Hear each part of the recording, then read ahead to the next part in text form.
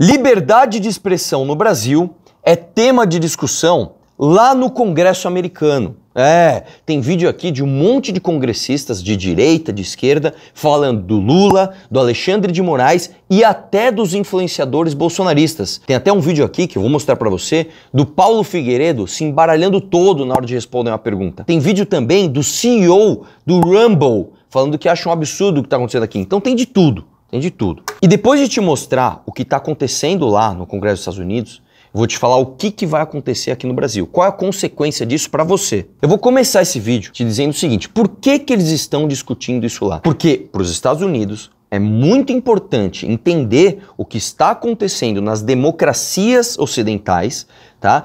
Por causa do reflexo no país deles, tá? Não vem você achar que, ah, não, pô, os caras estão muito preocupados com o Brasil, eles são. Não é isso, não.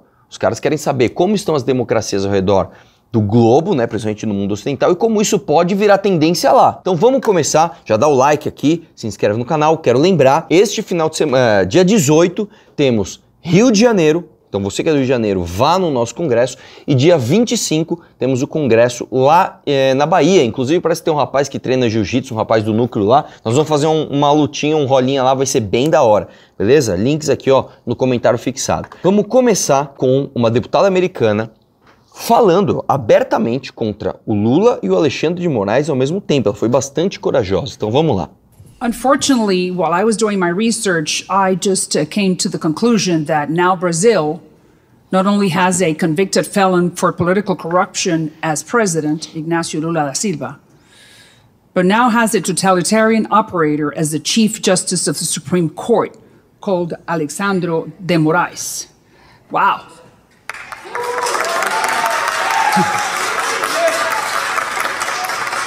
Thank you.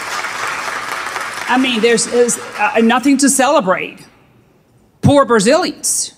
They deserve a lot better. E é mentira o que ela está falando? O que eu quero te dizer é o seguinte: a imagem para o resto do mundo, não só do Lula presidente, mas do que aconteceu também no 8 de janeiro e do que aconteceu com as decisões do Alexandre Moraes, estão reverberando no mundo inteiro. E claro que negativamente, né? Vamos lá. E aí o Eduardo Bolsonaro vai lá e coloca esse mesmo vídeo, tá? Do ponto de vista de alguém que está na, na plateia dessa senhora fazendo isso. E nós já vamos falar da turma deles, né? Nós já vamos falar sobre isso. Eu quero lembrar que nem a esquerda mundial, né? Uh, está de acordo com as decisões do Alexandre Moraes. A gente tem que ver, por exemplo, o próprio Glenn Greenwald, né? Que é da Vaza Jato, dizendo: olha, não, não, não, o que eles estão fazendo aqui está errado. O, o, os próprios veículos de imprensa internacionais falando: peraí, Peraí, isso aqui já está passando dos limites. E aí, cara, o presidente do Comitê dos Direitos Humanos da Câmara também critica o Alexandre de Moraes. Dá uma olhada no vídeo dele. Uh, since late 2022, Brazilians have been subject to grave human rights violations committed by Brazilian officials on a vast scale. Documented right violations in Brazil include the political abuse of legal procedures to persecute political opposition, including jailing opposition figures on spurious charges, violations of freedom of speech and media freedom, including persecution of journalists, the silencing of opposition media, banning individuals from social media, thinly veiled censorship laws claiming to fight disinformation, and many violations of rule of law. The government of Brazil has pursued, pursued Brazilian journalists, and, and it takes and political opponents in the United States of America as well. It has used Interpol, red notices, social intimidation, threats of legal action and extradition, and according to one credible victim of transnational oppression, repression, has sought to use the FBI as a carrier on, or conduit uh, to its intimidation. Now, this is... Pausa aqui. Isso aqui ele deve estar falando diretamente da da, do Alan dos Santos, tá? O que infelizmente ele ocorre num erro, porque ele também não tem como saber todas as nuances do que acontece aqui no Brasil, mas, mas, né, como eu falei, olha a imagem que o Brasil está passando para o mundo. Vamos lá. Been carried out with assistance from the Electoral Tribunal's Special Advisory to Combat Disinformation. It acts as a ministry of truth, so called. In fact, the crackdown is largely in the name of one man. Brazilian President, Supreme Court Justice Alexander D. Moraes in late January of 2023. The New York Times reported, referring to Moraes, Quote, this is from the New York Times, using a broad interpretation of the court's powers, he has pushed to investigate and prosecute, as well as to silence on social media, anyone he deems a menace to Brazil's institutions. He has jailed people without trial for posting threats on social media, helped sentence a sitting congressman to nearly nine years in prison for threatening the court, ordered raids on businessmen with little evidence of wrongdoing, suspended an elected governor from his job, and unilaterally blocked dozens of, of accounts and thousands of posts on social media with virtually no transparency or room for appeal. And that's the New York Times. Ou seja, o New York Times, que não é uma imprensa de extrema direita, não. Inclusive, eles estão muito mais à esquerda do que à direita. É, eles mesmos estão dizendo: olha, isso aqui não é correto. O Sam Puncher aqui, Sam Puncher, pessoal sempre Sam Puncher, ele até retuita né, aqui dizendo que o republicano Chris Smith fez duras críticas a Alexandre de Moraes, certo? E aí tem aqui o CEO da Rumble, do Rumble, denunciando uma suposta censura aqui no Brasil. Vamos ver o que ele fala. Esse aqui é um pouco mais longo, tem três minutos.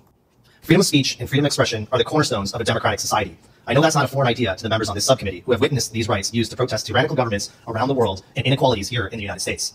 Freedom of expression is so important that not only is it the First Amendment to the United States Constitution, but it's also Article 19 in the United Nations Universal Declaration of Human Rights.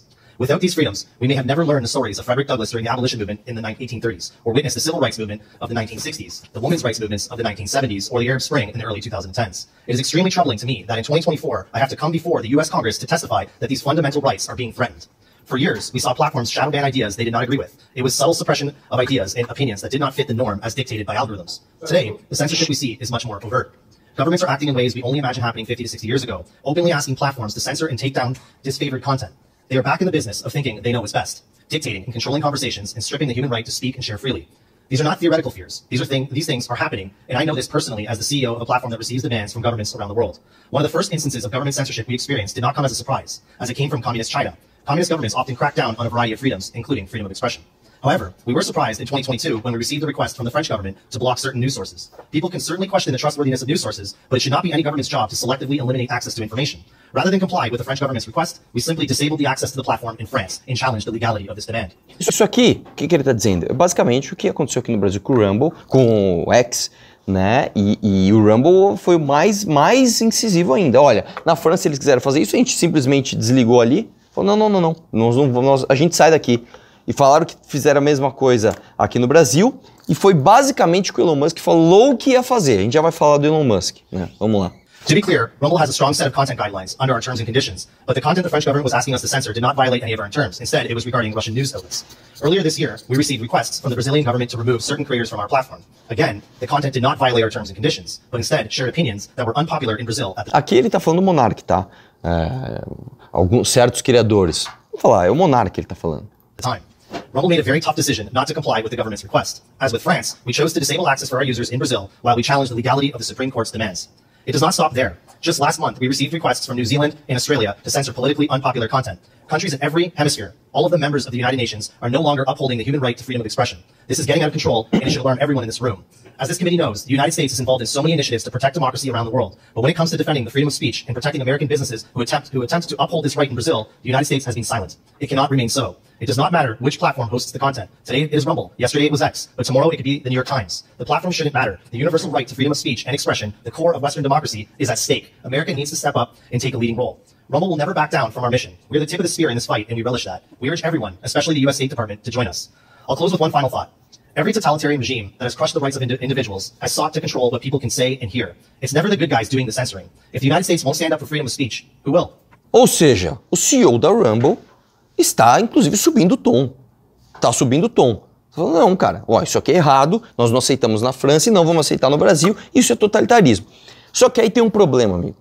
E aqui, porque aparentemente, né, é, é, você olha e fala, pô, que bom, está havendo denúncias do, do, dos excessos aqui no Brasil, lá nos Estados Unidos, talvez isso tenha repercussão. Só que, se você reparar bem nesse vídeo mesmo, quem é que está atrás dele ali, ó?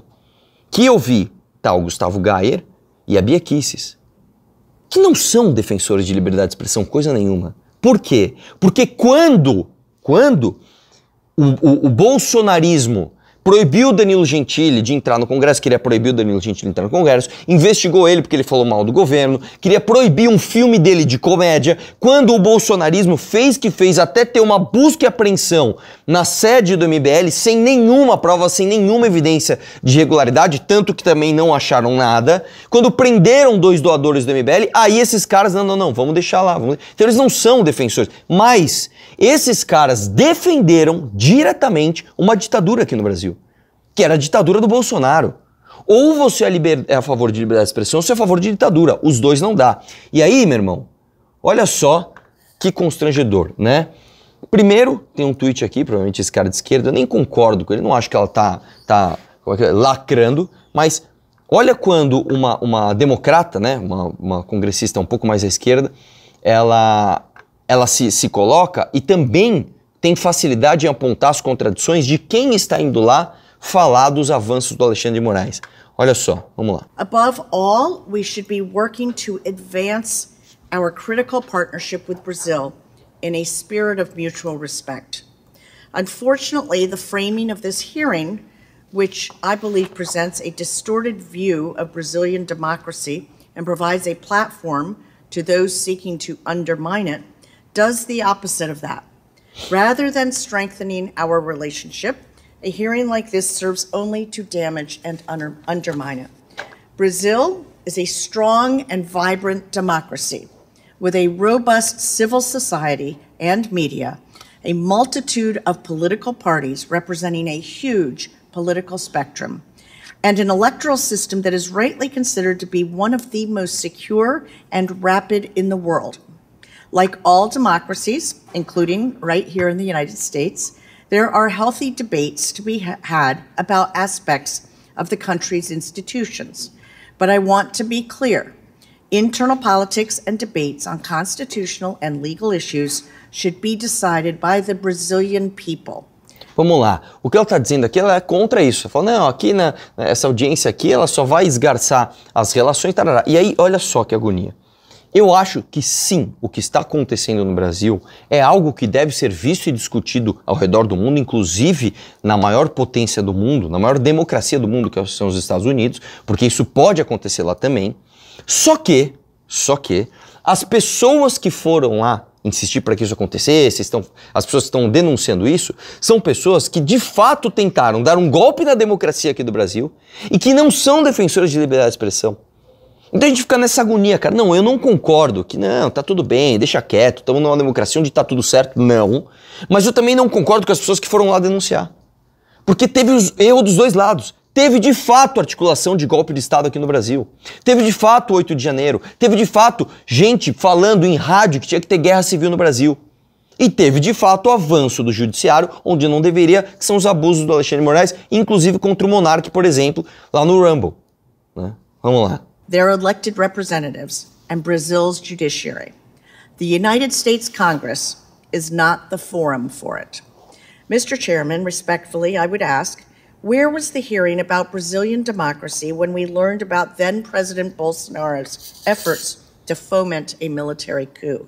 É isso. Não é uma contradição fácil de apontar? Ó, esses caras que estão dizendo aqui que são a favor de democracia, são contra a ditadura. Quando o Bolsonaro tentou implementar uma ditadura, que ele de fato tentou, ué, eu não vi eles virem reclamar aqui. É, é o que eu tô falando. As pessoas designadas para isso são altamente contraditórias. Where was the hearing after supporters of former President Bolsonaro led a coordinated attempt to overthrow the country's democracy on January 8, 2023?